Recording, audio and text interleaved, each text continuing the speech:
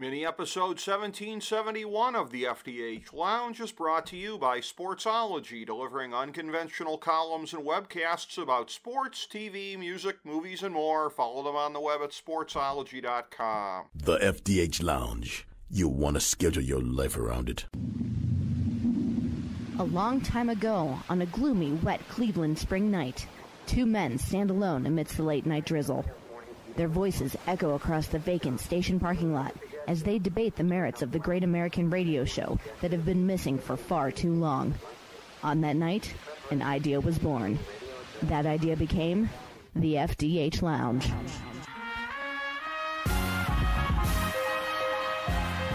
Welcome to the FDH Lounge. Hello, everyone. Welcome to FDH Lounge Mini Episode 1771. This is FDH Managing Partner Rick Morris coming at you here, and we have one of our favorite FDH Lounge dignitaries with us here today, our great friend Fran Stuchbury, sports writer at Our Sports Central. That's oursportscentral.com.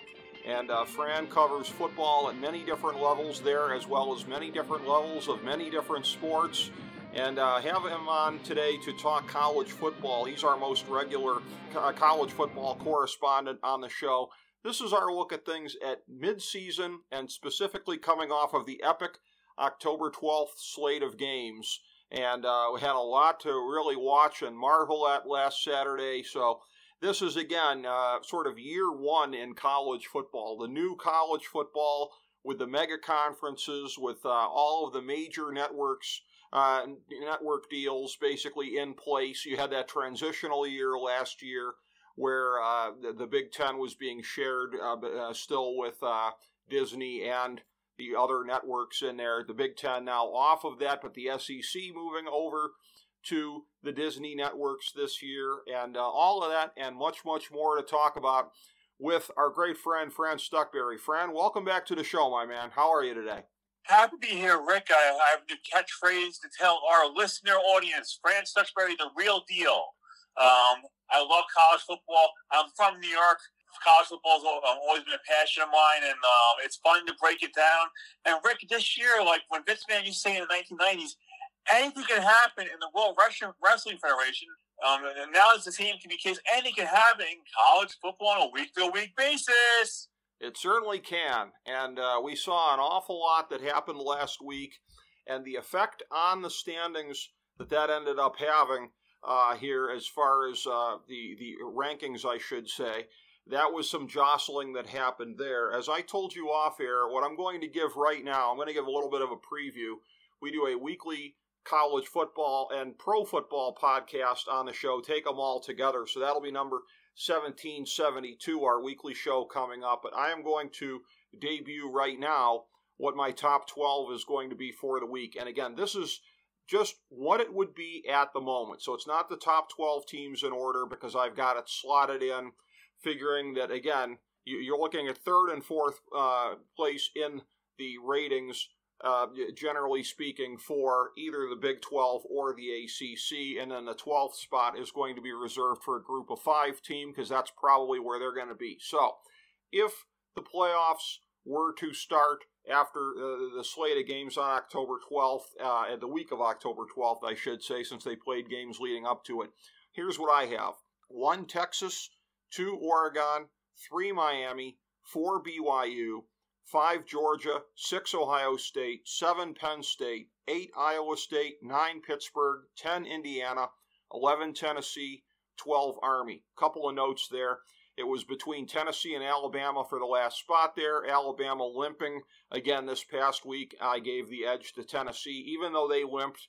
It was against a better Florida team uh, than who Alabama was matched up with. Right now, I've got Iowa State, Pittsburgh, and Indiana in the playoffs.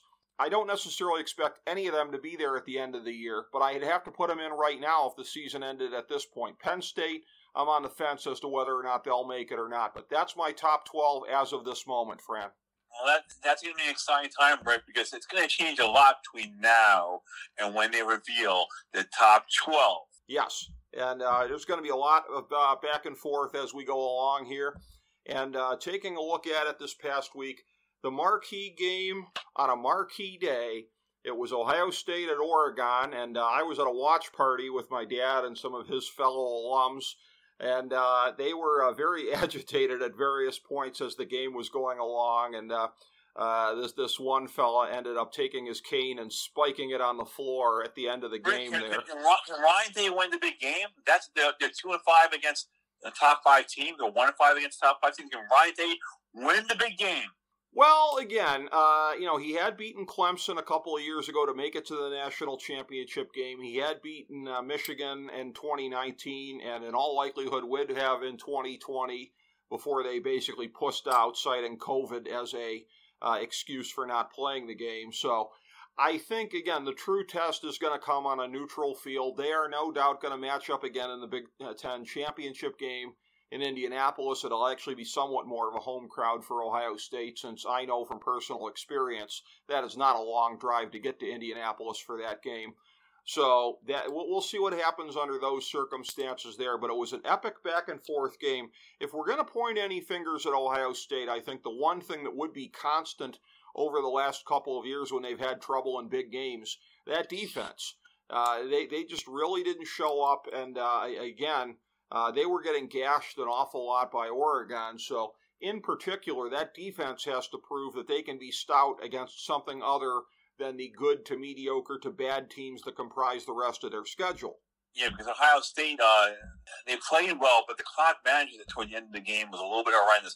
What killed them was their offensive pass interference, where the clock ran and like 20 seconds went off the clock, and uh, Oregon did a little player substitution to get more time off the clock, which the uh, NCAA will change next season.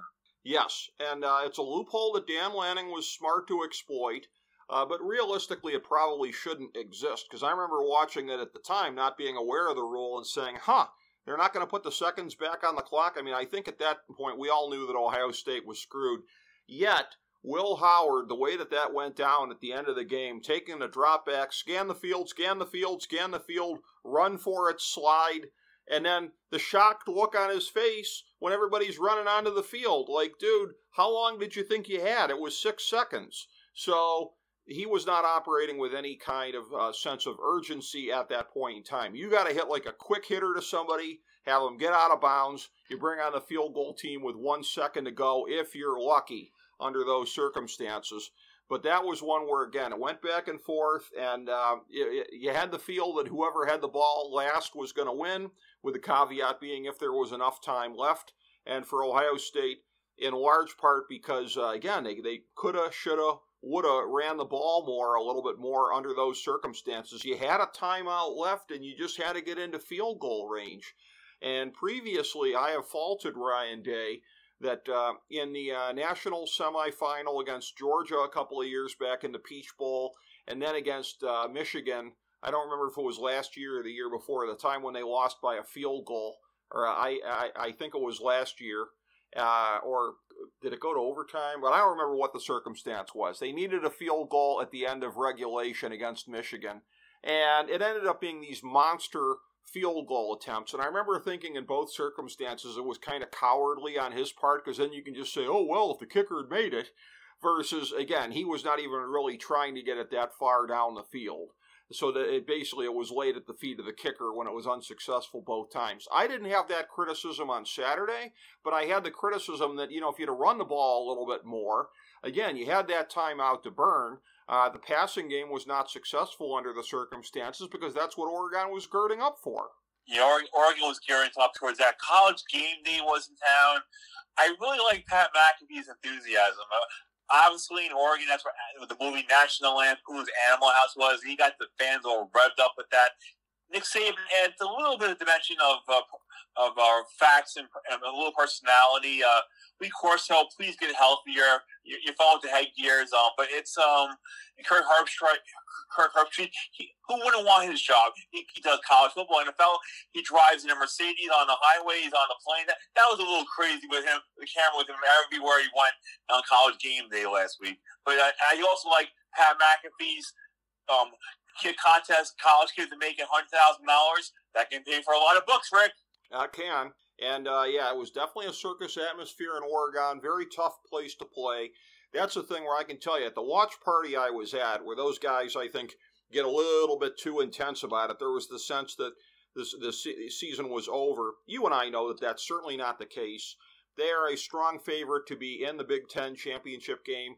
And to be honest with you, I expect a different outcome the next time around. I had picked Ohio State at the beginning of the season to be the number two seed in the playoffs, which meant that uh, I thought that they would split with Oregon. I thought they would lose there and win in the Big Ten championship game. I didn't see anything in that game to make me to believe that that can't happen. So that was a big one. You had uh, Texas, Oklahoma, the old Red River. Now they call it shootout because uh, we, we live in this uh, woke day and age where uh, we, we can't, or a rivalry, I should say. I, uh, they changed it the rivalry from shootout because that's apparently verboten to do anymore. But, anyways, uh, that was one where it is a sense of the divergence between the programs when you look at that there. What has been a, a pretty competitive game the last couple of years. You see the extent to which Texas is number one with a bullet in the, uh, the, the rankings here, and Oklahoma is not at this point considered to be a top twenty-five team. Yeah, I mean uh, Texas is a real deal with that because uh, they're going to be good for a long time, and they have a future Heisman Trophy winning quarterback in Arch Manning on the bench. He's going to win the Heisman either next year or the year after. Call, I called here, Rick, and I think you agree with me. Yeah, I think he very well could. And uh, Quinn Ewers, in the meantime, a heck of a quarterback. And uh, it, again, an epic battle to come this week against Georgia. And uh, this is uh, th- this may tell whether or not Georgia makes it to the SEC championship game. Then again, even if they don't, if they miss it with two losses, they're still in the playoffs. So it's not exactly an eliminator game for Georgia. But uh, tennis, uh, Texas can basically wrap up, I think, uh, a spot in the SEC championship game if they can beat Georgia. And then, uh, yeah, for Georgia, it'll it'll be a matter of just kind of hanging on if, if, they can in this game. They had that big win over Michigan earlier in the season. Uh, Texas did, I should say, and uh, it, it, really has been uh, quite a ride for uh, for both of these teams this year. And uh, again, Texas really, really looking right now like the number one team in the country. Like you said, nobody goes too deep at quarterback the way that they do. But uh, you got the uh, the Big Ten where it's essentially, I would say, a two-team battle right now: Oregon, Ohio State. Some would say Penn State. I still think Penn State has a lot to prove as far as winning big games. But in the SEC, it's a little bit more wide open. Alabama kind of taken themselves out of it a little bit after the last couple of weeks. My Tennessee Vols not necessarily looking so great either. That inexplicable loss to Arkansas. So the SEC is uh, really shaping up to be, uh, again, what should be, and I thought it would be at the beginning of the season, a battle between Texas and Georgia in the SEC championship game. I think we're going to see this one again. But based on Georgia not beating Alabama before, that's no longer as certain as it was. It definitely is, and plus this this week, Rick, we have Alabama, Tennessee, and that loser is going to have two losses. That's going to be tough because, Rick, when we had our discussions off the air, he talked about a word these teams in the SEC are going to cannibalize each other, and that's what's going to happen next couple weeks, Rick. They're going to cannibalize each other. There's going to be losses. There's going to be upsets, and there's going to be there's probably going there's definitely going to be a three loss SEC SEC team in the, in the playoffs. Definitely, definitely, Rick. Yeah, and there probably should be uh, as relates to them versus the rest of the country.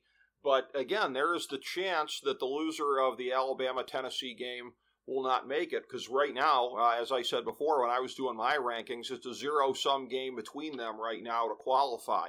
Now, again, you get the teams ahead of them that should lose a game between now and then and potentially take themselves out of it. Pittsburgh, Iowa State, Indiana. That will open it up a little bit more for the SEC. There's some talk about uh, Texas A&M potentially getting back into the mix, potentially Mississippi State. But as you go to look at it here, it really is a situation where, you know, ultimately it, it, it looks like uh, Texas and everybody else kind of to a degree, but we'll see if that ends up surviving them playing Georgia. Two huge games week after week here. Uh, I know Oklahoma uh, does, does not match up with uh, Texas as well this year as they have in years past, but that's still a huge rivalry game, still a huge test. And then to have Georgia the week after it is going to be fascinating to see how the Longhorns come out of the gate. Oh, by the way, as I said before, beating uh, Michigan earlier this season, and yeah, Michigan's not what they were last year in many different ways, but Texas has had uh, a, a front part of the season here that has really been loaded.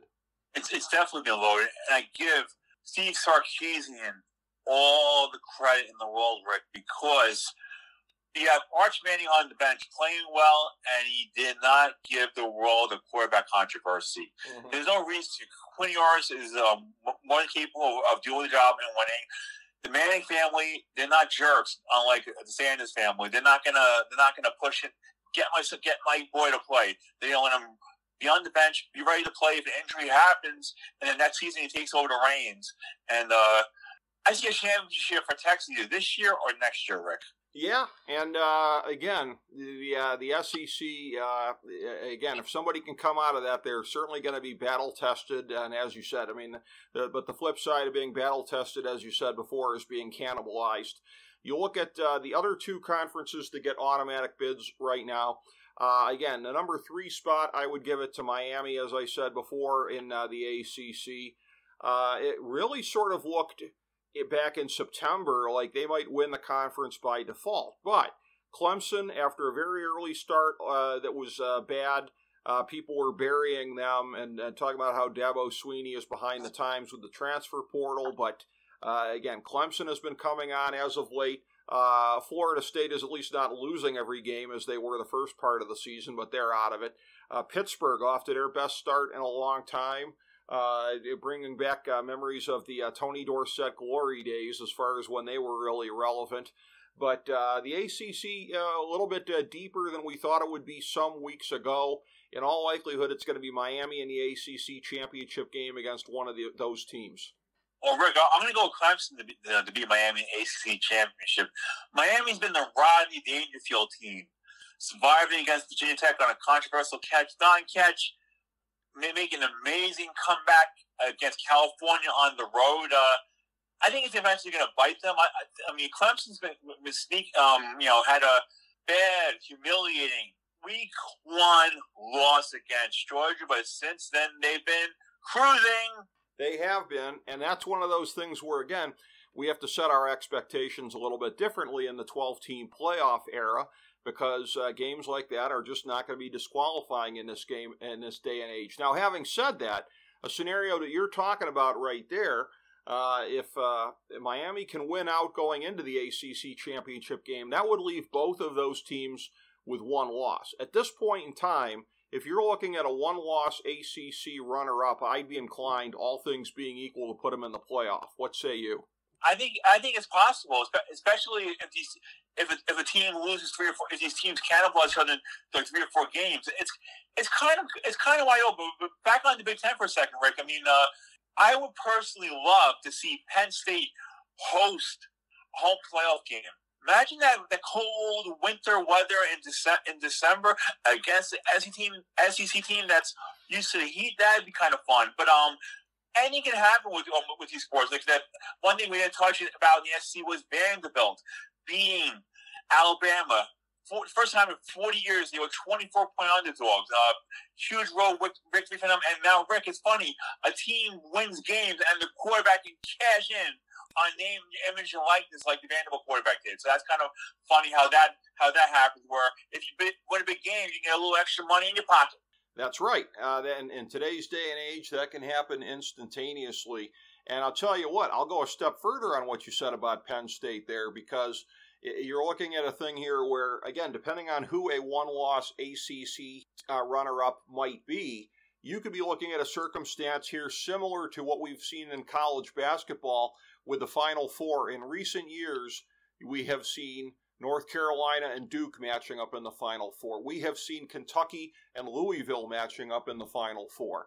And let me tell you something, man. If we ended up getting Pitt at Penn State in the first round of the playoffs, that would really help to put the playoffs on the map. Oh, Rick, that would be awesome. Kudos to Penn State. Remember when we were talking, we were saying that Penn State really hasn't proven anything, but I think when you go 3,000 miles across the coast and win against USC, USC uh, three fourth quarter losses. Lincoln Riley, he's gonna he's gonna get he's gonna get through the season, but he one of their losses on uh, in the fourth quarter came to row the boat with uh, Minnesota, and um and, and, another loss came to Michigan, who can't throw the football to the Pacific Ocean. And um, what happened with, with Lincoln Riley, as far as he's concerned, uh, he'll get through this year. He'll get one more year, as Colin Cowherd said Los Angeles market does not support losers. So if they have a struggling year next year, they're going to buy them out. I would agree with that. Uh, the onus is going to be on USC to start to do better, and we're seeing here again that uh, it is not really their year as far as being a serious contender in the Big Ten, nor has it been uh, for the defending college football runner-up Washington, albeit they have shown this year. They've shown some bright spots here and there, beating Michigan in the national championship game rematch that was this year a conference game. And uh, again, uh, Washington should be poised to get it reestablished in good fashion uh, moving forward. So next year might be more interesting in the Big Ten than this year is because this year, again, it looks like Ohio State, Oregon, and everybody else. Penn State, prove me wrong on that. Uh, Penn State's going to be playing Ohio State in a couple of weeks, and they're going to have to at least play them very, very close if they are going to be taken seriously moving forward. They may still grab the third Big Ten playoff spot here, but uh, that would not necessarily indicate that they're a serious contender because not all 12 teams in the playoff are going to be serious contenders, anyways. But uh, we'll see how that plays out. We said when we did our preview back in August that the most interesting major conference, top to bottom, was going to be the Big 12.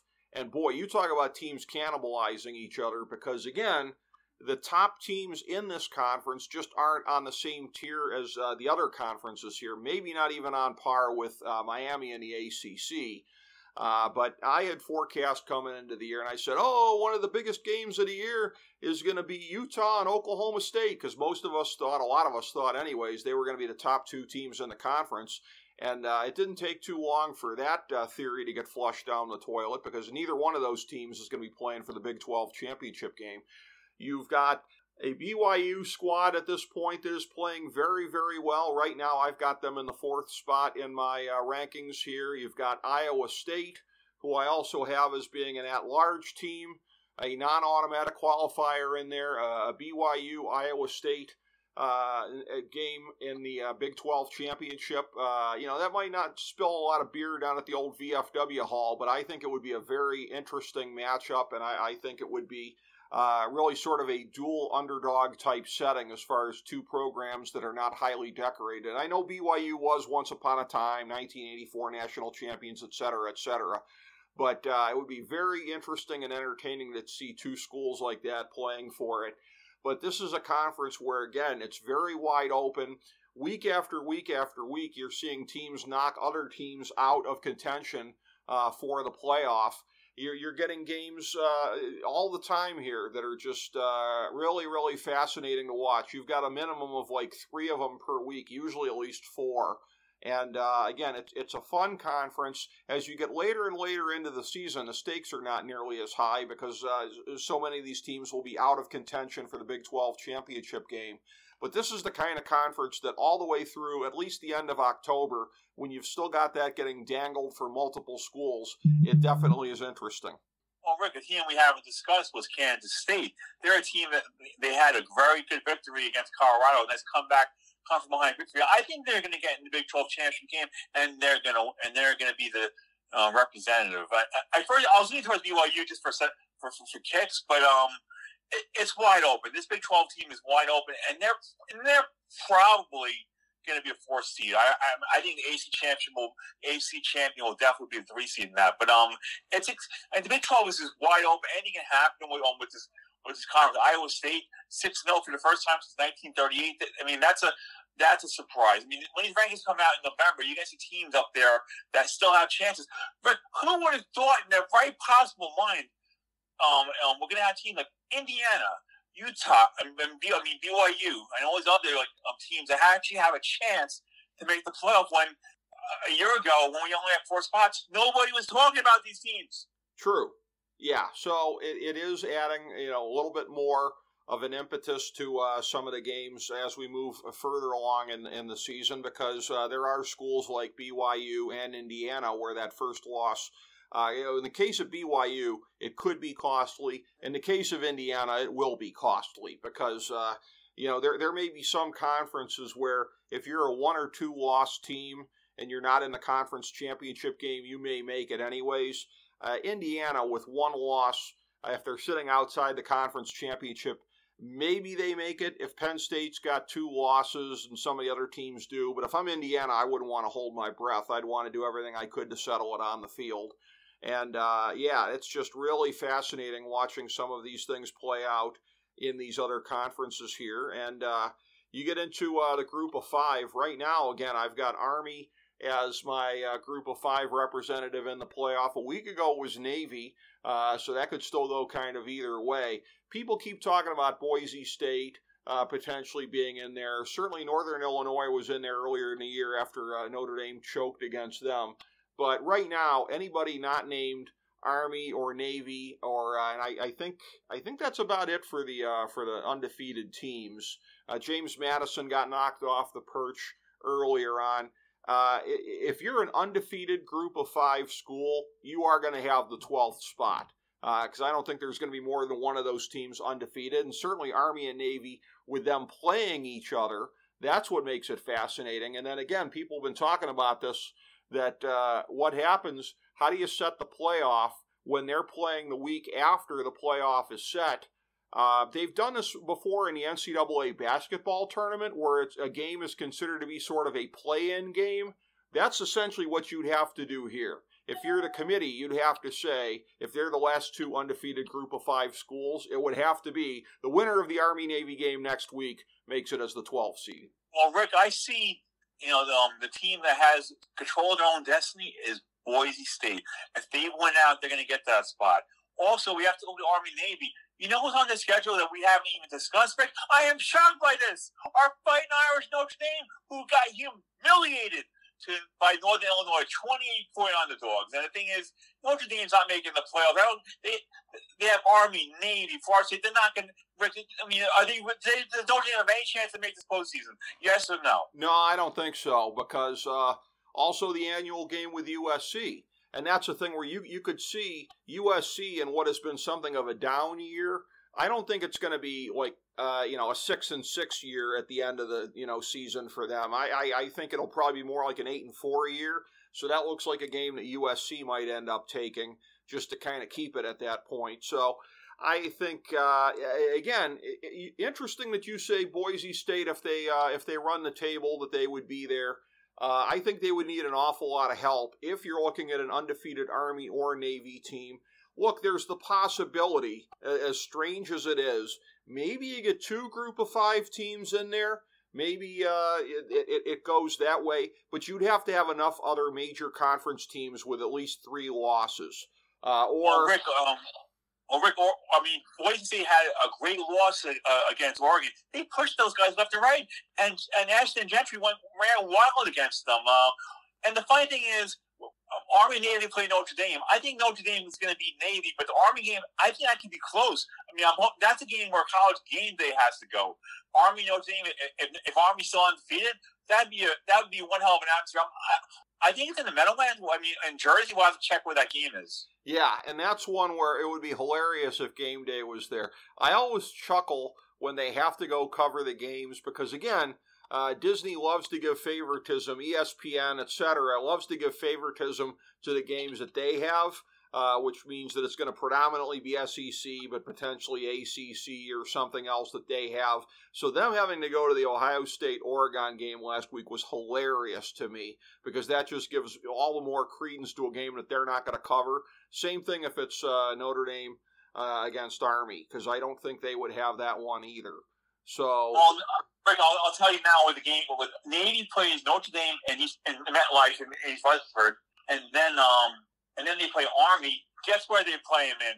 New York, the Bronx, the Yankee Stadium, man. I'll Aren't? tell you one thing: if Army's undefeated there, that's a college game they have to go. Imagine that atmosphere, uh, undefeated Army against Notre Dame at Yankee Stadium. I'm saying that's where college game day is going to go, Rick if, if Army's undefeated, um, um uh, I think that's where they're going to end up going for, for, for, that, for that game. If, if Army's undefeated by then, that'd be one hell of an atmosphere. It's going to be the 1940s all over again, man. Cue up the swing jazz at the tailgate parties, and yeah, a time when Notre Dame versus Army was actually a super relevant football game. Hard to believe we'd be saying that in 2024, but here we are. So the way that everything is uh, shaking out here, by the way, as far as games from October 12th of uh, decent significance here, Uh, kind of glossed over it before, although you mentioned it a little bit. Penn State going all the way out to the coast. We're getting all these games this year. This is our first look at any number of games that it's like, wow, these are now conference games. And that'll happen next year when we see games for the first time and the year after, because not everybody plays everybody. You know, earlier in the year, my Tennessee Vols going to Oklahoma for an SEC game, you know, that was weird. But that Penn State at USC game, First of all, a Big Ten game. Second of all, the Big Ten on CBS at 3:30. That still takes some getting used to. But uh, again, it, it did surprise me that Penn State was able to hang on in that game there. But that is a thing where, again, uh, I see USC as being on that second tier. I think it's kind of a, a, deeper second tier in the Big Ten. You've got Indiana clearly on that at the, at this point. Uh, you know, you could make an argument. Minnesota has looked like a team on that tier some of the time, sometime not. You could make an argument for Nebraska. I still think Indiana, with all due respect to them being undefeated, that's where they still are. But uh, again, Penn State is going to have to prove it, particularly in the weeks to come against Ohio State here. Uh, but uh, that could land them potentially, like you said, in the spot to get, because if you're in spots five through eight, you will host a first round playoff game uh, the week, the first weekend of the games here. And uh, yeah, that that could set Penn State up for it, and maybe even more than that if they upset Ohio State. Oh, that's gonna be a, that's definitely gonna be probably gonna be a, an eight o'clock game and a whiteout. Probably that's probably gonna be a one game. That's gonna be that's gonna be a crazy atmosphere. But uh, it's it, it's fun having so much you know so many great games to watch. Um, with this college football playoffs, so many more games in meaningful. And now with the Big Ten being coast to coast, we have games all day long. It's, it's an exciting time. One thing I, I did want to discuss briefly in the ACC, a team we haven't we didn't talk about was SMU. They still have a chance to get to the ACC championship. I'm going to make a prediction, FDH lounge prediction for you guys. I think that SMU will eventually be in a college World playoff. They're they're eventually going to you know win a championship and get into the playoff eventually. They're in Texas. They can recruit. They have a talent. Watch out for SMU for years to come. I know from uh, from checking out uh, some Dallas media as I do from time to time that uh, they've really been hyping it up. The program has being in the ACC, and that it's basically uh, the highest level they've been on since they were uh, in the old Southwestern Conference back into the '90s. So they're viewing it as a big step up. While we view the Big 12 and uh, the ACC right now is clearly a cut below the SEC and the Big Ten. Everything is relative, so it's a jump up for them. It's been hilarious to see also how much the Cal fans have embraced being in that. Cal and Stanford in the Atlantic Coast Conference. You got to love it. And uh, Cal managing to get game day out earlier in the season uh, for uh, a big early season game there. So they're a team that looks like they may, uh, in the years to come, potentially be a contender in the ACC. They may not be that far away, you know, at the moment, even though they're not going to make the ACC championship game at this point. So some of these new faces in new places uh, could be set up to contend in these conferences in the years going, moving forward. Uh, it's definitely wide open. It's just talking college Stanford. I think we can talk about the former conference they used to be, Rick, the Pac-12. Let's talk about their new members. Uh, yes, could be uh, Memphis and Toledo and uh, some of these schools among that. Uh, those are the ones I think of when I think of the Pacific 12 Conference. But uh, no, they, they took the best teams from Mountain West. Obviously, when you have Boise State, Fresno State, San Diego State, uh, Utah State's on one of them, but they needed a team. So, and you have and you have Colorado State. But the thing is, um, the Pac-12 still needs another uh, football program. The Mountain West got um, got UTEP, and now they have Hawaii as a full member. Um, it's the thing is the Pac-12 now. Um, they took they got Gonzaga as a basketball program.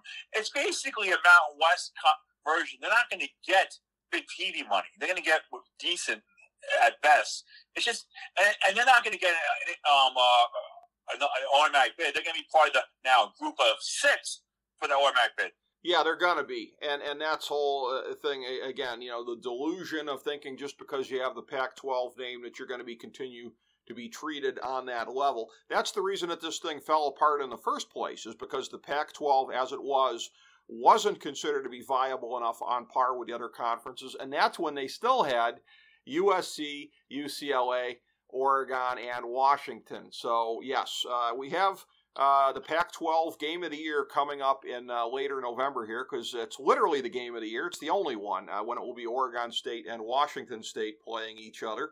But uh, I understand that uh, the games that they've been playing, they have a, C- a, TV deal with the CW network, and I guess those games are drawing relatively well on the CW network, so uh, maybe they would be a contender for the Pac 12. But uh, again, the CW is never going to spend super heavy for anything. They go in and they get sort of like the second and third tier of any number of sporting and sporting related entities, so I would expect it to be more of the same. And uh, again, my uh, pick at the beginning of the year in the uh, college football playoff was uh, Georgia and uh, Texas in the championship game. So I think they could end up playing three times here. And I had Georgia winning the uh, the championship. Do you have any kind of a sense of how it might shake out at this point, Fran? I think I want to wait till the bracket comes out to see who plays where before I before I see what happens. The thing is, Rick, I'll give the edge to, to, the teams that make it to the top four because they play one less game. So whoever's the first, second seed, I give them an edge on uh, because it's one less game. Because other teams are going to get going to get clobbered and bodies are going to get brutalized over that uh, that four week period. Well, and I'm going to point this out as well. This is something that uh, FDH Director of Research Nate Noy had called to my attention previously because that's a guy that will look, you know, deep at the granular level on just about anything. Is that like I know we didn't have it play out this way last year in the NFL because the Philadelphia Eagles absolutely collapsed down the strength or down down, down the stretch, uh, so they weren't able to get past uh, Tampa Bay. But uh, normally, the uh, the team that comes out of the NFC South uh, just gets killed in that first round. Uh, now that may or may not happen this year because Tampa Bay is actually looking like a legit team. But for years and years and years, right, the NFC South champion, they get a home game, but they're a sitting duck. And that's what it's going to be with the three and four seeds because you're going to have, in all likelihood, the runner up in the Big Ten and the runner up in the SEC in the five and six spots. So it doesn't matter that the three and four seeds have the bye. It doesn't matter that they're that they have the time to rest and prepare and whatever. They're going to be heavy underdogs, notwithstanding the seeding, in all likelihood, to the five and six uh, seeds also, Rick, um, the fifth, sixth seeds are not going to be playing conference championship games, so they'll even have another additional time for rest. It's gonna, and plus the other thing is you're going to be having those those games at bowl sites where yes. where the crowd won't, won't be as much of a factor um, compared um, compared to being on the campus. It's going to be it's going to be fun. It's going to be exciting. It's going to be. Uh, I'm going to. I'm going to love every moment with, with, with, that college football stuff. But um, it's kind of fun to see to see the college football season the games are getting better each week, and the games are getting even more important towards the end of the season. And now we see as the ACC and Big 12 championship games, basically you win and you're in. You're home and you're sweating on Selection Sunday. Yes. Uh, now that's an interesting assertion you made that uh, the five and six seeds would not beat a conference runner-ups for the Big Ten and uh, the the SEC. My sense is that they will be. Certainly in the case of Ohio State and Oregon, I think whoever loses that game is is slotted into the five and six spot. In the SEC, perhaps it's the third place team from the regular season that doesn't have the stink of a conference championship loss. So I think it's more likely if it happens in one conference or another to be in the SEC because I don't think there's as much separation between Georgia, Texas, and some of the other teams as there is with Ohio State and Oregon in the Big Ten. But uh, we'll see how that shakes out. But uh, the real deal, Fran Stuchbury of our Sports Central, always a pleasure to have you on the show, buddy. Thank you so much for being here for this great breakdown today. Oh, it's, it's great to be on the show. And like I said, a little advice for people. When you sign a name and image and likeness deal, make sure it's ver- verified and guaranteed because Matthew Sluka left UNLV when he signed when he was going to get paid hundred thousand dollars and he only got three thousand dollars. Now this guy's transferring. I don't know where he's going to play next season. But Rick, anybody you buy a car, you um you buy a house, you buy a boat, you sign a contract. So that's a a knucklehead move of the year in the FDH Lounge. Rick. Yeah, I, I learned that the hard way uh, with some friends of mine a couple of years ago when there should have been a contract signed uh, to get some work done and did it as a handshake deal. And the stakes on what we were doing were far lower than NIL money for a college quarterback. So, yeah, that's a universal lesson, kids. Always get a contract signed when you have anything of any kind of importance whatsoever being done. But uh, again, this show today really great. Uh, it's wonderful to have you on, Fran. Thank you so much. I will look forward to catching up with you on the show once the playoff field is set. Thank you, Fran, and thank you everybody for checking out FDH Lounge Mini episode 1771.